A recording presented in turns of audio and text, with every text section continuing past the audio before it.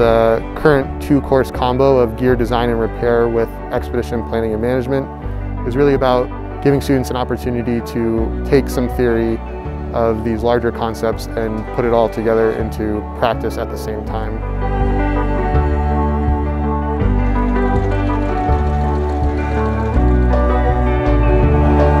As experiential learning goes with the classes, all of them have some element of the experiential learning cycle.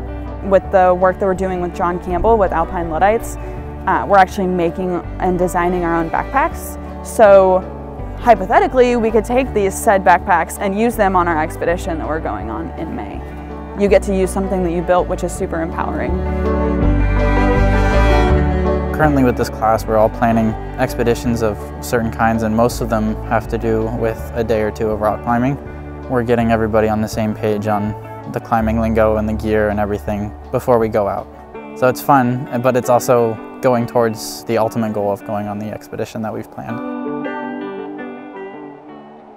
The expedition can speak for itself in that we do want this experience to lead the learning for the students, but also we need to facilitate it for them to draw these goals out and be able to transfer them after the trip back into their everyday life.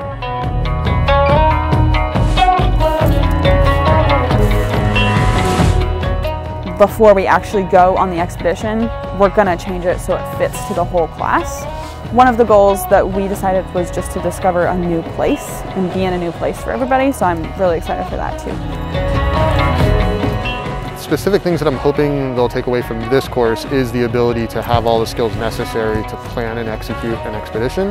As a larger concept within outdoor education, the things that I'm hoping to come away with is a better understanding of what a leader can and should be, and that it's not always the person in the front of the room who's actually leading, and that they'll also have a much better understanding of how different people learn and how you could take any setting and make it an educational one for just about anyone.